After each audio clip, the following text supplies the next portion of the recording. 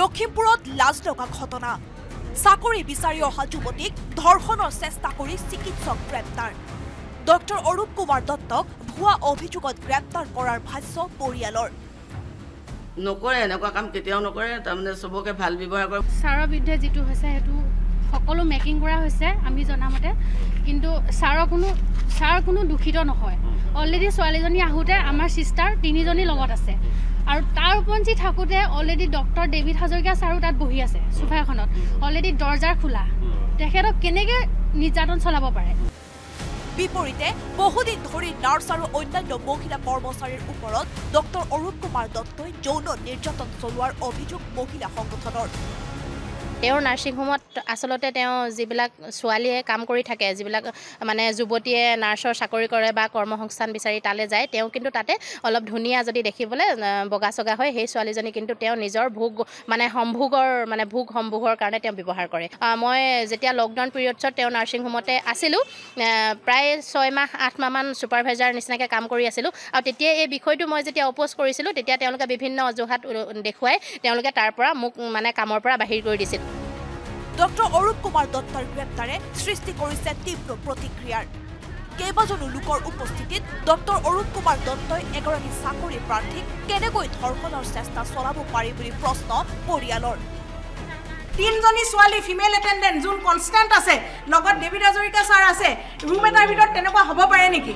এইটো তেওঁক সম্পূৰ্ণ কোনোবাই ফচাইছে আৰু ইয়াৰ তেওঁ ন্যায় পাব পোৱাটো পাবই আৰু আপোনালোকে চবেই গম পাব সঁচা কি এদিন। বিপৰীতে সুন্দৰী মহিলা কিংবা যুৱতী দেখিলেই ডক্টৰ অৰূপ কুমাৰ দত্তই সুযোগ লোৱাৰ অভিযোগ আন এগৰাকী ভুক্তভোগীৰ। প্ৰসূতি ৰোগ বিশেষজ্ঞ অৰূপ কুমাৰ দত্তৰ কাষত সুন্দৰী ৰোগী কিংবা কৰ্মচাৰীও নিৰাপদ নহয় বুলি জনালে আন এগৰাকী নিৰ্যাতিতাই।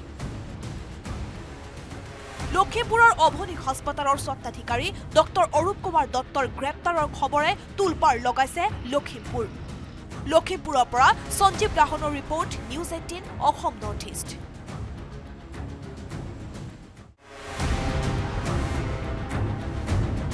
লখিমপুৰত লাজ লগা ঘটনা। চাকৰি বিচাৰি অহা যুৱতীক ধৰ্ষণৰ চেষ্টা কৰি চিকিৎসক গ্ৰেপ্তাৰ। ডক্টৰ অৰূপ কুমাৰ দত্তক ভুৱা অভিযোগত গ্ৰেপ্তাৰ কৰাৰ ভাষ্য পৰিয়ালৰ। নকৰে এনেকুৱা কাম কেতিয়াও নকৰে তাৰমানে চবকে ভাল ব্যৱহাৰ কৰে। ছাৰৰ বিৰুদ্ধে যিটো হৈছে সেইটো সকলো মেকিং কৰা হৈছে আমি জনামতে। কিন্তু ছাৰৰ কোনো ছাৰ কোনো দূষিত নহয়। অলৰেডি ছোৱালীজনী আহোঁতে আমাৰ ছিষ্টাৰ তিনিজনী লগত আছে। আৰু তাৰ উপঞ্চি থাকোঁতে অলৰেডি ডক্টৰ ডেভিড হাজৰিকা ছাৰো তাত বহি আছে চোফা এখনত অলৰেডি দৰ্জাৰ খোলা। তেখেতক কেনেকৈ নিৰ্যাতন চলাব পাৰে?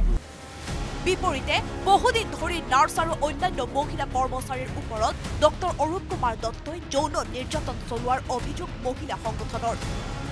তেওঁৰ নাৰ্ছিং হোমত আচলতে তেওঁ যিবিলাক ছোৱালীয়ে কাম কৰি থাকে যিবিলাক মানে যুৱতীয়ে নাৰ্ছৰ চাকৰি কৰে বা কৰ্মসংস্থান বিচাৰি তালৈ যায় তেওঁ কিন্তু তাতে অলপ ধুনীয়া যদি দেখিবলৈ বগা চগা হয় সেই ছোৱালীজনী কিন্তু তেওঁ নিজৰ ভোগ মানে সম্ভোগৰ মানে ভোগ সম্ভোগৰ কাৰণে তেওঁ ব্যৱহাৰ কৰে।